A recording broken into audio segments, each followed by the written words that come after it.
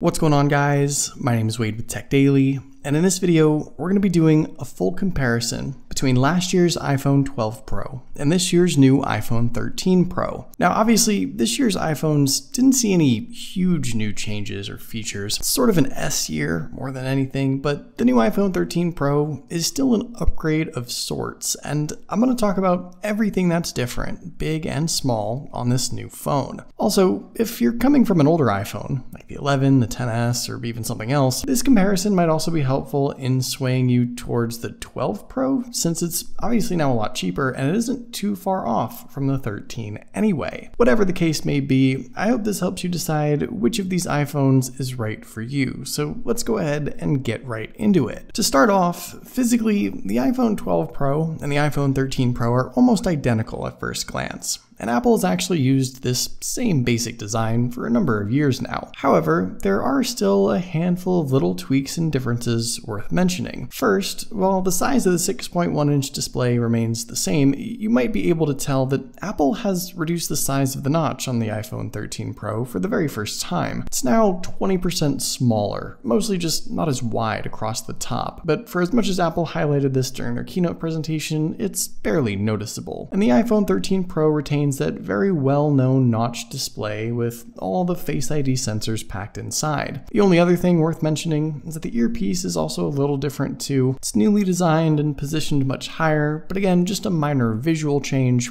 Everything else up front is identical on both these iPhones. Around back, the iPhone 12 Pro and iPhone 13 Pro share the same frosted glass rear cover and stainless steel frame. The fit and finish are identical here, and the only thing that differs, obviously, is the color. We go from a darker Pacific blue to the lighter Sierra blue, but Apple adds a fresh new color almost every year, that's obviously not a big deal. In the hand, these phones also almost feel the same. They share the same boxy, sharp profile, though the new iPhone 13 13 Pro is a little heavier by about 15 grams, and that is something you can feel when you hold it. The new phone is also a tiny bit thicker too, technically, though that's not as obvious, and you might think that since the overall form factor seems to be identical, that Apple might have just reused the same housing on the new iPhone 13 Pro, or that the new phone could at least fit in the iPhone 12 Pro accessories, like the cases. But unfortunately, that's not what we have here because of a couple other minor but slightly annoying physical changes changes. The first is the camera setup around back. The new 13 Pro has a larger camera module as a whole, which you can probably tell. It packs in larger lenses too, and it sticks out quite a bit farther, which might not be as obvious at first, but when you lay these phones flat on a table, you can see just how propped up the iPhone 13 Pro is by its new huge camera bump. The difference is really surprising. Of course, the whole camera system on the iPhone 13 Pro is different and improved, and I'll get into all that later later, but the bigger camera bump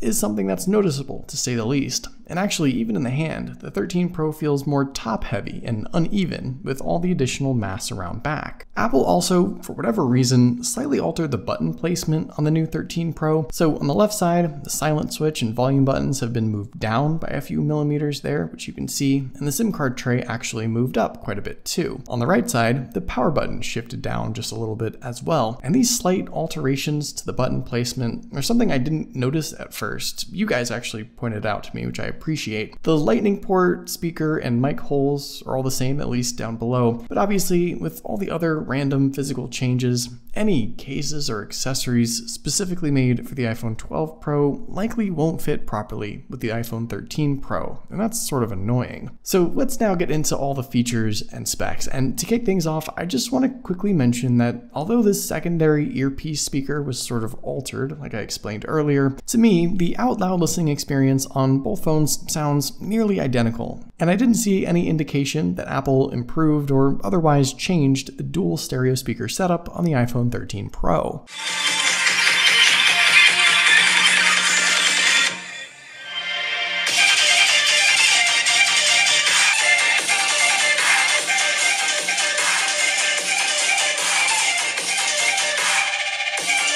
For your viewing experience, this is the first big change and upgrade we get with the iPhone 13 Pro, and there's two specific things to talk about. On the surface, the general specs haven't changed much. Both phones have Apple's Super Retina XDR OLED panel with HDR10 support, and the 6.1 inch displays offer the same 2531 by 1170 resolution at about 460 pixels per inch. From a clarity standpoint, they offer identical sharpness. But the new iPhone 13 Pro now offers a brighter display, 1000 nits of brightness versus 800 on the iPhone 12 Pro. And it's sort of hard to tell on camera here, but in person at least, this is a noticeable difference. At max brightness, the iPhone 13 Pro looks brighter, and in my time using this phone so far, I've had a slightly easier time viewing things on screen outdoors in direct sunlight. Also, while Apple didn't necessarily mention this, I've personally found the new iPhone 13 Pro to be a little more colorful and contrasty. Colors are more saturated, blacks are a little deeper, perhaps the color profile has shifted a bit on the new phone, but to my eye there does seem to be a slight difference in the colors on screen. Lastly, and probably most importantly, the new iPhone 13 Pro's display is also now a high refresh rate panel. It's Apple's ProMotion 120Hz screen, which gives you a variable refresh rate based on what's being shown or what's being interacted with. And it may not be totally obvious at first, but this new high refresh rate screen is going to deliver a silky smooth experience, a more fluid look, and an overall more snappy and responsive feel. When you slow things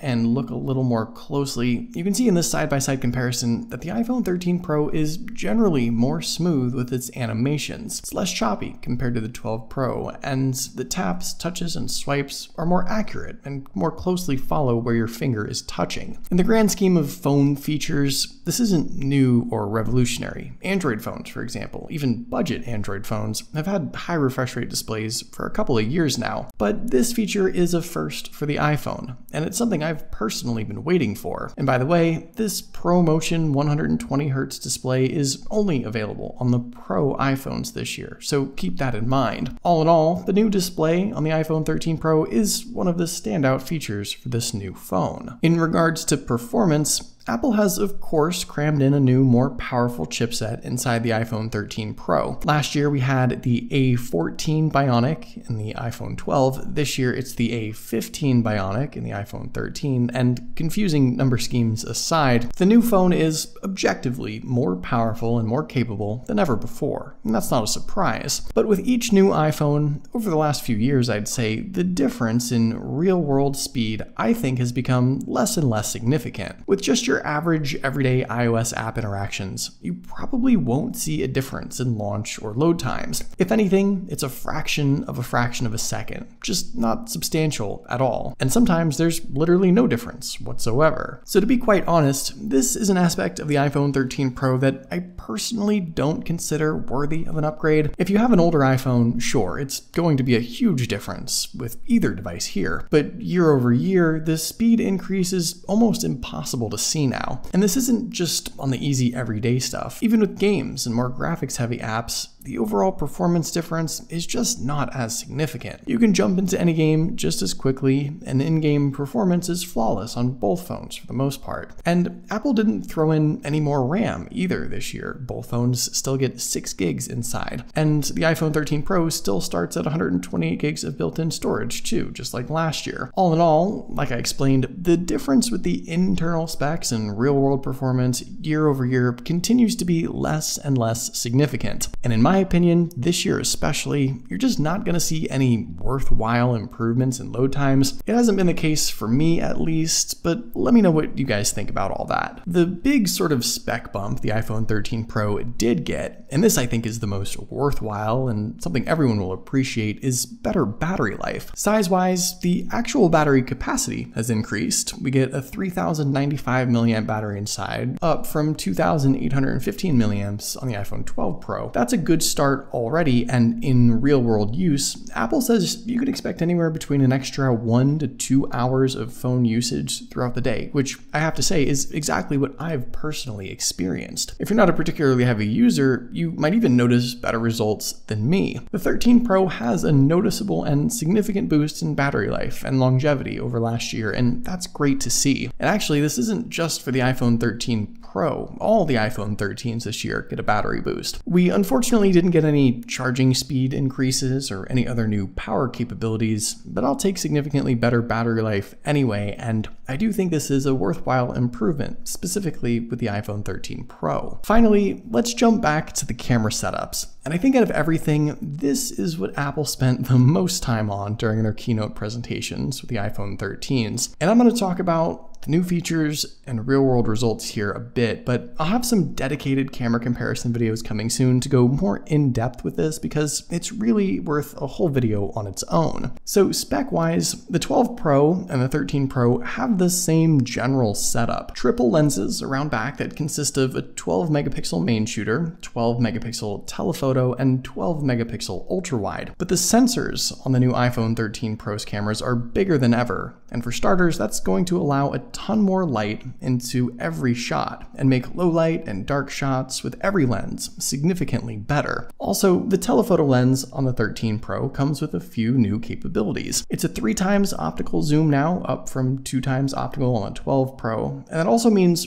portrait shots with the telephoto are going to be a little different. You might need to take an additional step back when taking them. But the telephoto lens also doubles as a macro lens now as well for super up close pictures. It switches automatically when it senses a subject a few millimeters away. The 12 Pro can't really take any close up pictures. And to be honest, I don't really utilize macro lenses on any smartphones, but I guess this is a helpful add on for those very specific situations. There's two other new shooting modes on the 13 Pro the first is what Apple calls photographic styles, sort of a half filter, half preset that allows for certain looks for your shot, whether it be vibrant, warm, cool, or something else. And for video, Apple also added cinematic mode, which lets you take a sort of portrait video and can also quickly change focus from subject to subject automatically based on a scene. Beyond these changes and add-ons, most everything else inside the camera app on these iPhones is going to be the same. But with some side-by-side -side shots here, I think you'll be able to see that the iPhone 13 Pro does offer some upgrades and improvements with the results. The new phone can produce a shot that's sharper, clearer, and more detailed. I think that's pretty obvious even at first glance, and the lighting looks quite a bit better too. It doesn't really matter which lens you shoot with, I think you can see decent improvements across the board, and with low light and night mode shots especially, the difference is even more significant. Now, the iPhone 12 Pro obviously had a great camera setup already, and some of the changes on the 13 Pro might be more subjective, they could be good, they could be useful, just depends on how you use your iPhone and what you value for the camera setups. But overall, there's no doubt that Apple probably spent a majority of their time and efforts fine tuning this camera setup on the 13 Pro. So, all in all, I think it's pretty obvious that this year's new iPhone 13 Pro is a marginal upgrade.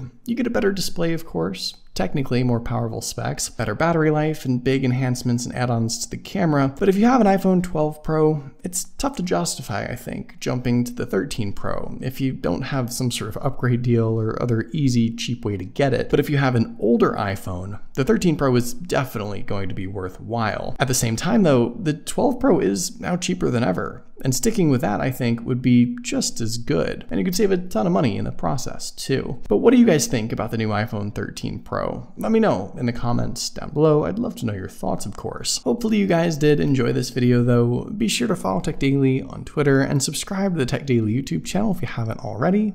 And I'll see you guys later.